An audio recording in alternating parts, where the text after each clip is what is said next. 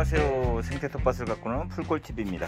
오늘은 느티나무를 이용해서 티테이블과 도마를 만들어 보도록 하겠습니다.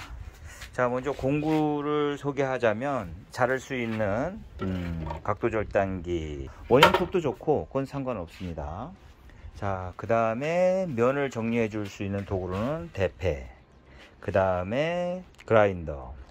그 다음에 형태를 자를 수 있는 jigsaw기 아, 모서리를 정리해주는 trimmer. 표면을 정리해주는 cutting board oil 그러니까 도마 오일이죠. 도마 오일을 발라서 처리하도록 하겠습니다. 먼저 오늘 나무는 느티나무입니다. 느티나무는 단단하고요. 무늬가 예쁩니다. 자 먼저 만들기 위해서는 네, 나무를 먼저 봐야 되겠죠. 자 이렇게 흠이 있는지 확인하고요. 자 이 부분에 지금 흠이 있어요. 자 그러면 전체적으로 이 부분을 잘라낼 건지 다른 용도로 쓸지를 확인해 주면 됩니다. 아, 그라인더로 갈아낼 정도는 아닌 것 같아요. 여기 보면 예, 이렇게 홈이 예, 예, 금이 같죠? 그라인더로 갈거나 대패로 갈아서 정리할 수준은 아닌 것 같습니다. 예, 잘라내야 될 것 같아요. 자 그럼 먼저 예, 나무를 한번 정리해 보겠습니다. 자 예, 톱을 쓸 때는 안전 커버가 있긴 한데요. 나무에 대고 스위치를 돌리는 것은 가장 위험한 행위입니다. 먼저 나무에 대기 전에 가장 높은 회전수를 만들어 줘야 됩니다. 그 다음에 서서히 갔다가 나무에 대야 되는 거죠. 어차피 자를 부분이기 때문에 보면 자 이렇게 잘라야지 된 상태에서 스위치를 눌렀을 때는 위험한 상황이 발생됩니다. 자르기 전에 먼저 최고의 속도를 올린 다음에 서서히 나무에 갖다 대면 되겠습니다. 네, 다른 전동 공구도 역시 다 마찬가지입니다. 트리머도 그렇고 대패도 그렇고 직소기도 그렇고 예, 모든 전동 공구는 나무에 대기 전에 최대 속도를 올린 다음에 서서히 예, 나무에 가져가면 되겠습니다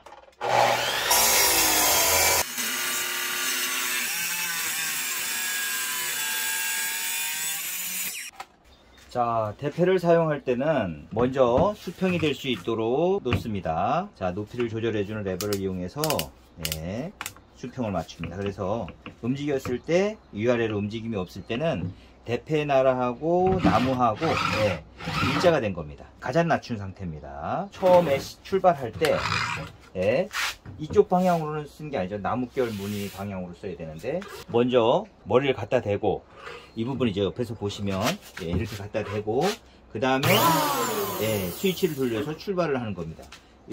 나무 위에서 대패날이 지금 여기 있는데요. 나무 위에서 대패날이 돌아가기 시작하면 안 됩니다. 자 뒤에서 시작돼야 됩니다. 그리고 예, 앞에서부터 예, 점진적으로 진행하면서 가면 되겠습니다. 끝까지 가줘야 됩니다. 이 부분이 뜨지 않게 예, 곧바로 연결되게.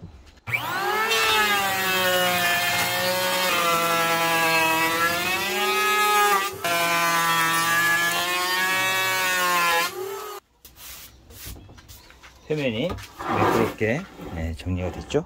자 뒷면도 같은 방법으로 해줍니다 자 뒷면도 이렇게 거친 면을 깨끗하게 한번 갈아 보겠습니다.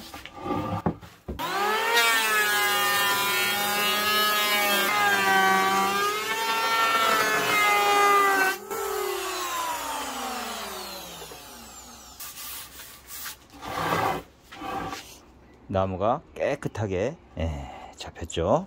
자 이것은 트리머인데요. 모서리를 예쁘게 다듬어주는 이 모서리를 처리해 주면 좋습니다 트리머는 사용 방법이 시계 반대 방향으로 돌려주면 되겠습니다. 면을 대고요.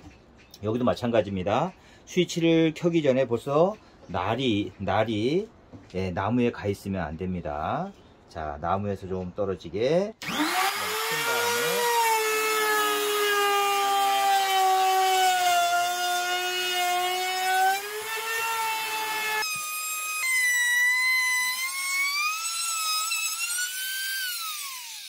자 다시 한번 보여드리겠습니다 자 지금 모서리가 이렇게 나 있죠 자 이렇게 모서리가 나 있는 부분을 예, 트리머로 처리를 해서 예, 이렇게 각을 예쁘게 따준 겁니다 자, 이렇게 각이 처리된 겁니다. 자, 이렇게 각이 서 있는 것을 이렇게 둥글게 처리를 해준 겁니다. 자, 뒷면도 해줘야 되겠죠?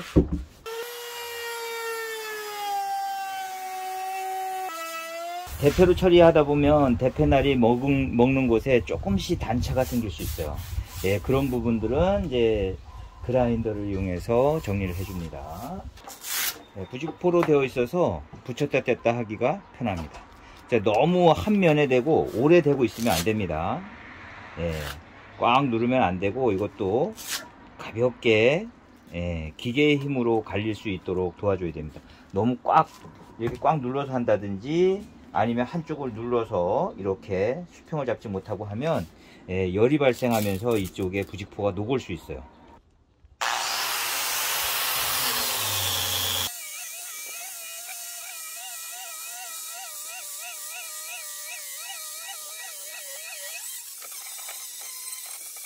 자, 이제 기계 사포를 했으면 예, 손 사포로 이제 마무리를 해줍니다.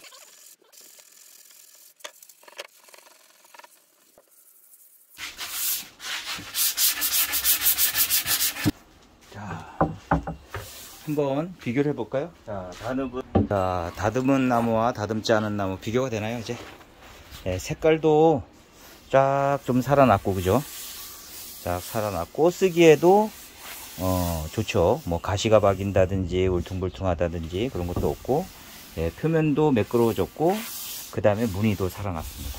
자, 네. 자, 무늬도 살아나고, 여기다 이제 오일 처리를 하면 색이 지금보다 한 단계 더 올라갑니다. 자, 이 처리 안 된 나무, 예. 딱 극명하게 비교가 되죠. 자, 오일은 나뭇결 무늬대로 발라주면 되겠습니다. 나뭇결 무늬대로.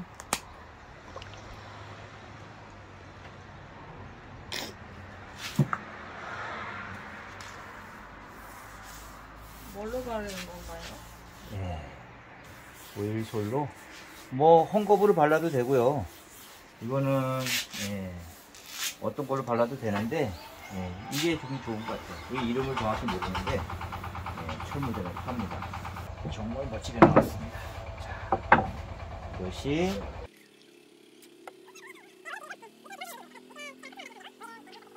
자 기름칠까지 이제 완전히 다 했으면 이제 다리를 올려야 되겠죠. 아, 티테이블 만들어야 되니까 찻상 찻상을 만들어야 되니까 자, 다리를 올려야 되겠죠 자 다리는 제가 이제 어, 샘플로 세 가지를 좀 사봤어요 자 요거는 좀 심플한 다리죠 네.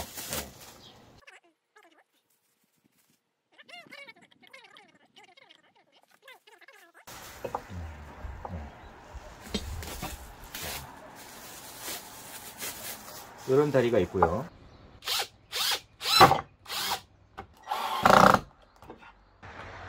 자, 지금까지 제가 쓰고 있던 어, 찻상입니다. 좌탁인데요. 음, 높이는 25cm, 어, 좀 높습니다. 지금. 자, 그래서 이것을 아, 지금 새로 만든 것들은 12cm에서 15cm, 낮게는 10cm로 예, 낮췄습니다. 자, 약간 높은데요. 이거를 지금 오늘 만든 걸로 한번 세팅을 한번 해 보도록 하겠습니다.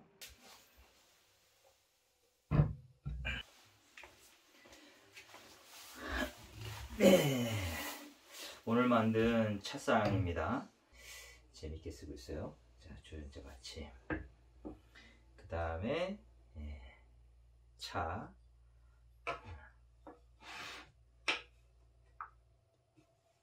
자, 대수차.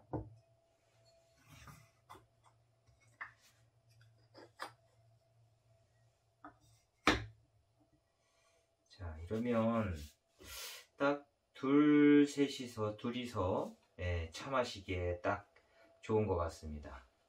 물론 이제 뭐 옆에 예, 물 끓이는 주전자도 있어야 되고 여러 가지 살림살이가 있겠지만 예, 이 정도면 아담하고